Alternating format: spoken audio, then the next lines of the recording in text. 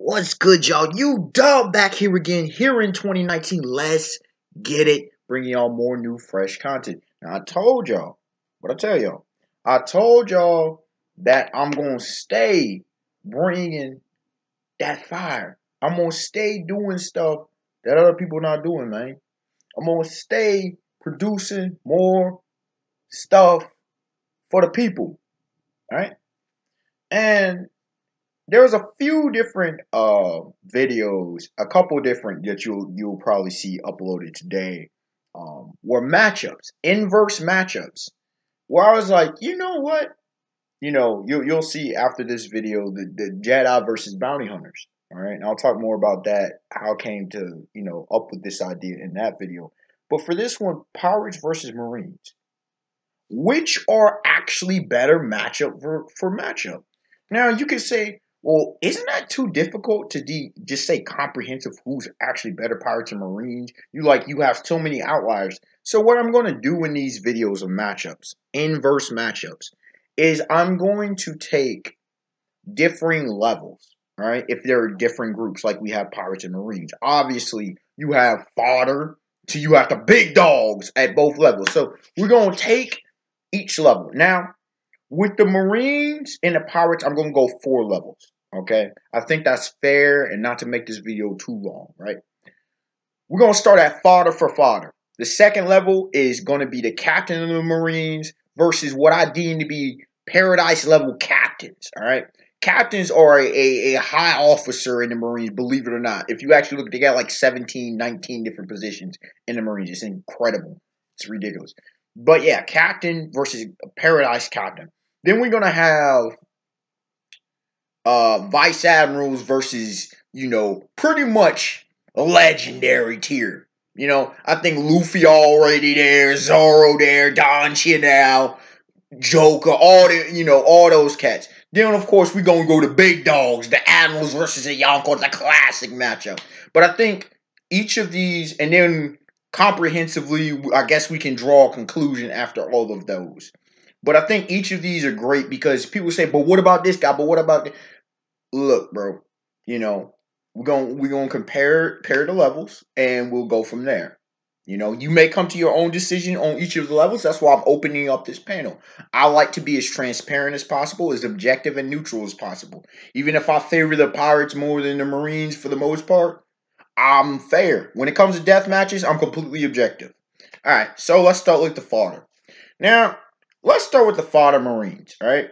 And fodder Marines really are anyone that's not captain. Like if you, to me, if you not a lieutenant, bro, you fodder. Like you are potentially like you are cannon fodder. You are the definition of cannon fodder. Now you can say, what, what, you know, what about petty officers, bro? They getting washed by anyone of significance. Luffy from the jump. Now you can say he was an exception, but Zoro was like this. They were already captain level from the jump. When you get Pirates of Promise, they're already rocking captain level shit. So you fodder, bro. If you not really a captain, but I'll, I'll go, you know, lieutenant or ensign, right? If you even ensign, really, if you below captain, to me, you you pretty much you you either fodder or you borderline fodder. Captain to me is like where you really start talking anything of relevance in the series of One Piece when you jump the Marines. So take that for what you were. So I got, I got a pretty large fodder here with the Marines. But with the Marines, you know, you see a lot of them rocking muskets. You don't really see them rocking pistols or anything like that. Uh, you see some rock swords and whatnot, but you know, they more so with the with the pistols. Pretty pretty cheap. Um, the training is okay training's pretty good. Um, you know, they they have their military, you know, ways. They're they're taught through a lot of things. They come in numbers and stuff. But if we talk about the individual Marine, you know, he, he's I won't say superhuman. I'd say he's a, a, a capable human. At this point, I don't think they're superhuman. I think they're capable humans. Uh, I think they, you know, they're they're okay fighters. It's just the fact is if you throw a bunch of fighter marines out at you know relevant pirates, they're gonna get gonna get washed. But in fairness, though, you do have some tough fodder. You do have some tough, especially in the new world. There is tough fodder. You know what I'm saying? Uh, it's just like, for example, the G the G five Marines, right? Bunch of fodder, right?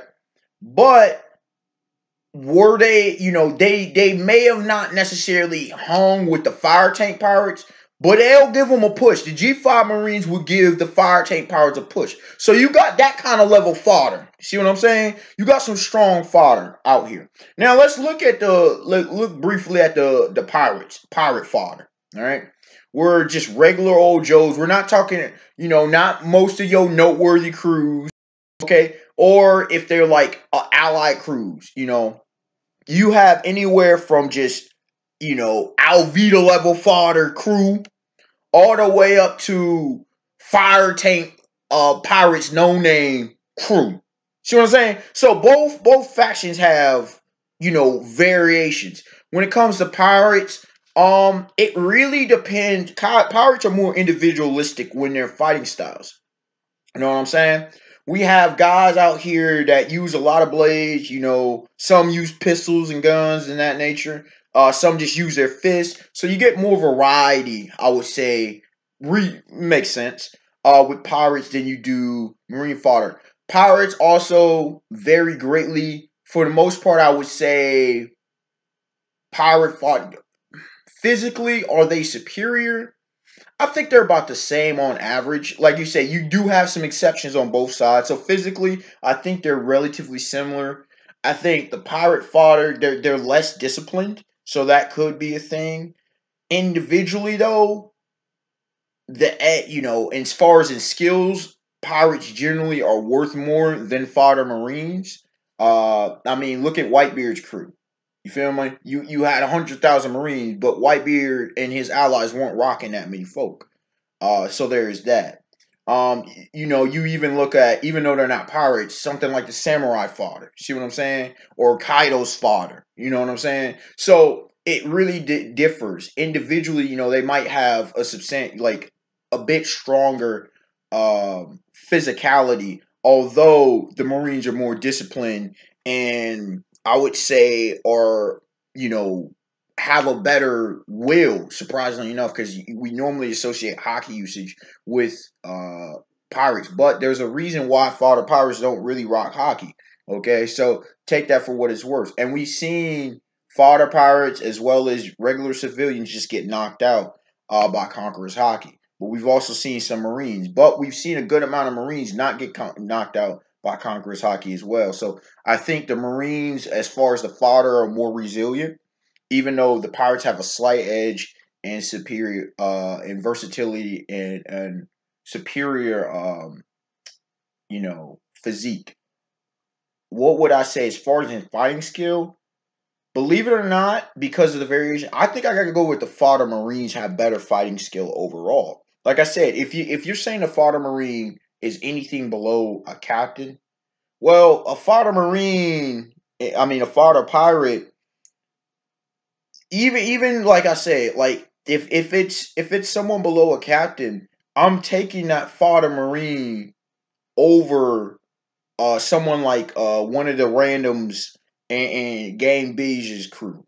You know, together Gang Bege's crew is nasty. The fire tank pirates are nasty, but one of those guys that ain't one of the top dogs, ain't no uh, Monster Gun Vito, ain't no Gotti, about to say John Gotti, ain't no Capone him. See what I'm saying? Look at uh, for example, beautiful example is the Heart Pirates.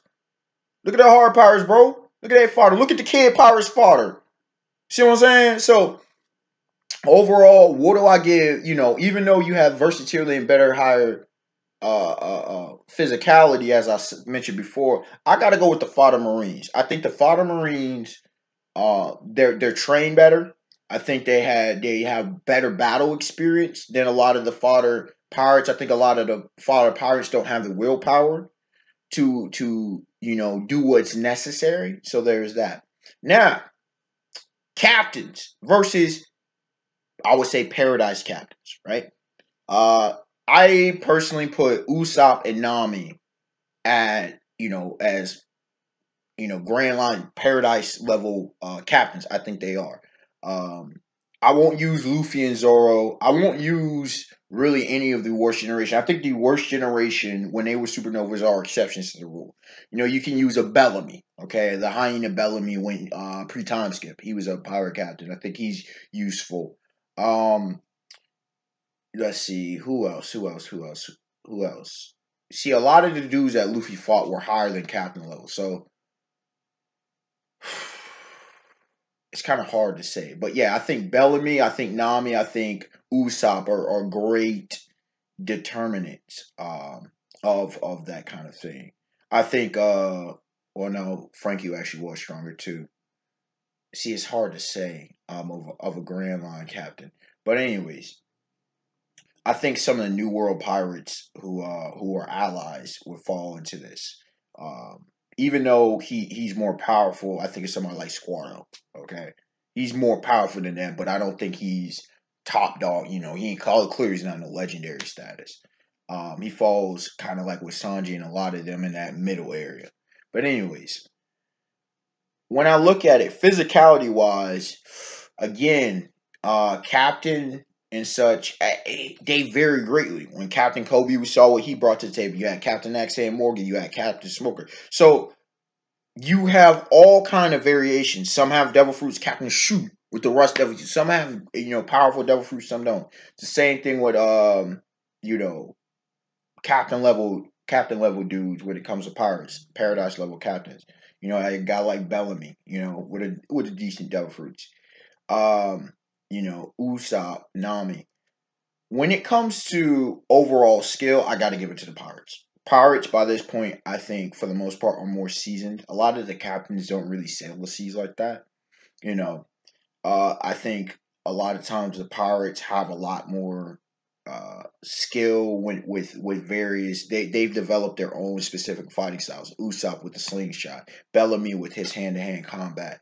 Uh, you had Nami with the with the staff, and then eventually she had the Clima-Tact. So you, you have more specialization and again more versatility with the pirates, which I think you'll see a common trend. Um, when it comes to as far as in overall power, though, I think you got to give it to the captain. Okay, this one I think is as Marine captain. Excuse me. I think they have better overall physicality. I look at uh, Kobe. You could say he was accelerated, but I, I look at Smoker. I look at they. They tend to have more physical, raw physical power. Like I say, you take Luffy and Zoro out of deception from them early on. I think they were already above captain level um, early on. But you know, you look at somebody like Arlong, you look at Don Krieg, you look even though you could say they grand, maybe they weren't that level. You look at Buggy, you look at Captain Kuro, you look at a lot of these captains who maybe could could have survived in in the you know Grand Line and whatnot.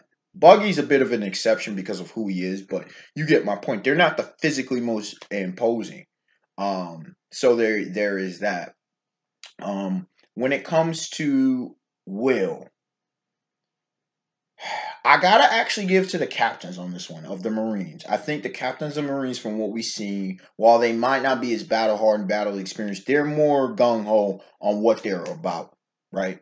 They're more gung ho than a lot of these cats. Look at Usopp, Nami. Look at Bellamy. Bellamy had his spirits broken, bro.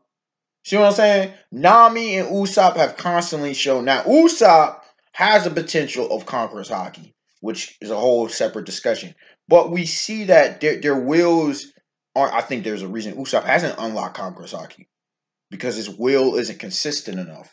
When it comes to the captains, they're pretty resolute in what they're about. So there's that. Um, when it comes to overall fighting capacity, I think they're pretty much even. Um, I think they're pretty much even. I would give depending on matchups, like when I said Captain Kobe, I actually had Usopp over. But you know I'm saying? You have situations where you have guys like uh, Smoker who are Logias. You know, you have powerful Devil Fruit users in the Marines as well. So that you know, pirate captains, they're likely more so to be captured. So overall, I gotta give this edge to the to the um to the Marines. Believe it or not, I got to give the edge to the Marines. Now, individual matchups, a lot of times I'll have a pirate winning. But overall, collectively, when we're talking captain level, there's too many low showings for the captains of the uh, of you know of the pirates. You know, I'll take uh for example the dude who was known as the Phoenix uh in uh the Don Accino, the Heat dude before Oven Remember that filler arc? That dude, he was nice. He was nice. But a lot of pirate captains, I mean, marine captains, I think, are taking him out. He was cool, but I think he gets taken out by a lot of them. So keep that in mind. Now, also remember, a lot of the pirate captains of the of Paradise are below 300 mil. See what I'm saying? So we're not dealing with the big dogs. We're not dealing with your Capone. We're not dealing with your Law. We're not dealing with your kid, Luffy. Uh, you know, we're we're not dealing with Jewelry Bonnie. We're not dealing with you know X Drake or anything of that nature. We're we're you know we're we're not dealing with your Pedros. You see what I'm saying? We're not dealing with your New World level dudes. All right. Now let's move up to the Vice Admiral versus the Legendary status. How I call it legendary Don Chinjao, Luffy, Joker, Boa Hancock, Sir Crocodile, you know, the original Seven Shichibukai and whatnot. For except, you know, Hawkeyes will put up at the top dog status, right? Um, you know, you you know you know your legends. Um Katakuri, you know, all all them legends, you know what I'm saying? You you, you take your pick. You compare them to, you know, most most pretty much anyone who's commander, people say commander level, anyone who's like most of Shichibukai and Yonko commanders and a few old timers are in this status. You know what I'm saying? So you take them versus vice admirals. Now this just gets interesting. This gets very, very interesting. Physicality wise, it's situational. That one's a question mark because you do have guys like Luffy who are very physical. But then you got some of these vice admirals like Garpa former, you know, he's a former golf. And you look at some of those guys at Marineford, they were impressive. People sleep on the vice admirals because they're like, oh, a Whitebeard, the world's strongest man. That's like if Kaido came and ran through, or or Lin Lin came and ran through. Like, come on, bro, pump the brakes. These vice admirals are pretty competent. Of course, you got low showings like Maynard. You got Bastille. But then again, you know, it's Sabo and it's Bartolomeo. You know, you got lower showings, but then you got your Vice Admiral Bogart, you got your Momonga, now Onigumo, you know what I'm saying? So uh, you always have variations. Skill wise, overall, I gotta give it to the Pirate Legends. You know what I'm saying? Gotta give it to them without question. Versatility, I don't think is any dispute that they have a hell of a lot more versatile techniques. I mean, you do have the Marines, uh, Vice Admirals, they should know some form of Haki. Uh, you know, they should you know, as far as utilization, that's what's said. You know, uh, they they Roku Shiki should be pretty.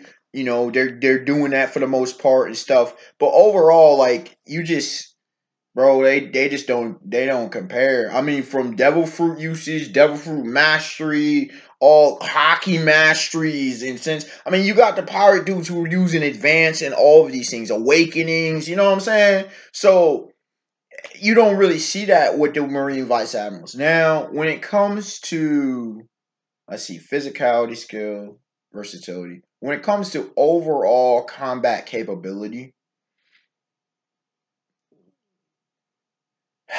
this is tough.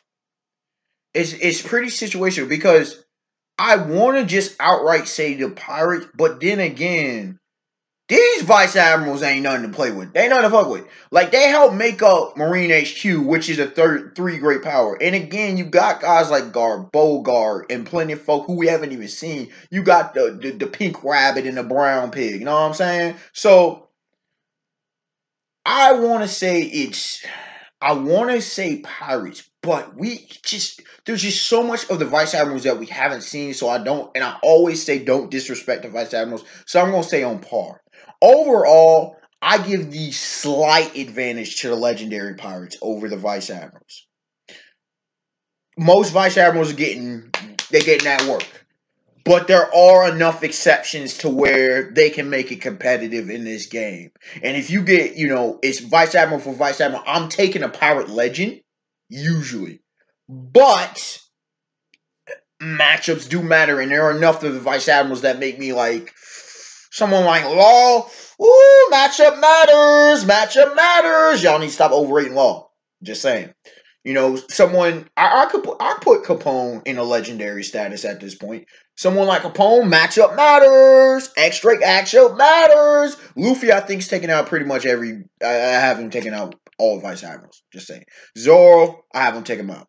Now I know some people don't have. I've had question marks about Garp's durability. Just saying, he got that offensive power, but I need to know what he can take in his advanced stage.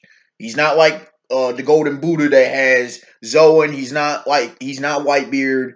You know what I'm saying? So we don't know. I mean, you can bring in the question of uh, the Dark King Silvers Rayleigh's durability. You know his stamina is legit, but durability, we don't know. See what I'm saying? So there is that. So slight advantage. Now, when it comes to the top dogs, y'all y'all should already know my position on this one. But let's look at overall physicality. Sorry, Admirals. Bro, the Yonko, world's strongest creature, world's strongest man, the absolute monster known as Lin Lin. Shanks can compete with that. Teach. I mean, come on, bro. Then you got guys like Golden Lion Shiki. You had uh, you had Roger back in there, you know what I'm saying? You had uh, you know, you got Hawkeyes, world's greatest swordsman. Physicality, come on, man. Now you do have good physicality, legit physicality, especially with Sakazuki. With Sakazuki, you know, you can't say Sakazuki's stronger than any of these dudes physically. You know what I'm saying? As well as I mean, overall, bro, they're not the Admirals are not known for physical strength. They're known for other things. Now, as far as in skill wise, I'm not being disrespectful to the Admirals. The Admirals are highly skilled. But the skill goes to the Yonko. The versatility goes to the Yonko. You see what Lin Lin brings to the table. She brings a Soro Soro Nomi. Soro Soro Devil Fruit. She brings the Napoleon swordsman, top tier swordsmanship skills. Check out my top 10 uh, swordsman video on One Piece and you'll see what I think on on Lin Lin's abilities. Uh, you know, you look at her physical, raw physical prowess and her durability. Look at Kaido with again complete fires. You got the mace, you got the physical prowess, you got the durability again. You got him be with his uh with his dragon form, whether it's a devil fruit or, or normal, we don't know. Regardless, you got that ridiculous move set, like he's a Toriko character or some shit. Then you got Shanks, Haki Master. Of course, you can throw in the Dark King with that Haki Master swordsmanship, both of them. Hawkeye's the same thing. Like, bro, what, what I'm supposed to do with that? And overall, uh, overall combat, here's where I say they're pretty much even. They, they're pretty much even. I'm not going to disrespect the Adams. I'm just not going to do it. I'm not going to do it. I told you I'm being objective. I, you know, and skills, versatility, I, I got the the Yonko, but overall combat, the Admirals got that shit dude. You know what I'm saying? We've seen advanced armaments in observation Haki. We've seen advanced uses of devil fruits. We've seen what they bring to the table. So I'm not gonna disrespect them like that. We seen Fujitora swordsmanship. We we we seen we seen this. So the admirals are legit, but overall, this is where handily the Yonko take advantage. So overall, what we clearly have here is at the lower levels, Marines are superior to pirates generally. At the higher levels, the pirates are superior. And that's what we've seen throughout the series of One Piece. It should not be a shocker. As we've seen with the pirate battles. You know what I'm saying? For the most part. Um, when you take all of that into consideration though, but who's the better faction? Who's the better faction? Well, here's the thing this is where you have people who are Marine fanboys, Admiral fanboys, and stuff. This is where they come into argument because Oda has made it pretty close. Oda has made it pretty close. Because here's the thing, man. Cannon fodder are better than the fodder of the pirates, and there's more of them. And then at the captain level, if you're not a legit top tier or or you know a, a, a top mid tier or whatever, the captains are going to give you that work. So that's taking out half of the crews right there. So see, now we're just left with the top dogs. The legendary and the Yonko. And the vice admirals are competitive with the legends. And the Yonkos, I mean the Yonkos are the Yonko, but you just left with them. But because if you throw in enough of the admirals and you throw in enough of the vice admirals, they taking down the Yonko. See what I'm saying? So it works itself out into an interesting balance. At the top, like it, the pirate world is top heavy. As LeBron James, well, top heavy as fuck, top heavy as shit. But you know, the the the Marines are banking on power and numbers. So really, it's I'm gonna leave this up to y'all. Who do y'all think better? I think the Pirates are better, partially be you know, top heavy can be bad, but top heavy, when it's an overwhelming hammer, is better. But in a war of attrition, the Marines win. It's part of the reason why the Pirates don't take out the Marines. Also, the Pirates don't ally, ally enough. So that's how that's the balancing act. Individually, overall, I say Pirates better. But the Marines, like when, when it comes to they're just better. So it, it's it's it's an interesting game. Tell me y'all thoughts. Unexpected one to like, comment, subscribe. There'll be many more videos and many different types of worlds and series to dissect. All right, y'all. Have a beautiful day, beautiful night. Peace.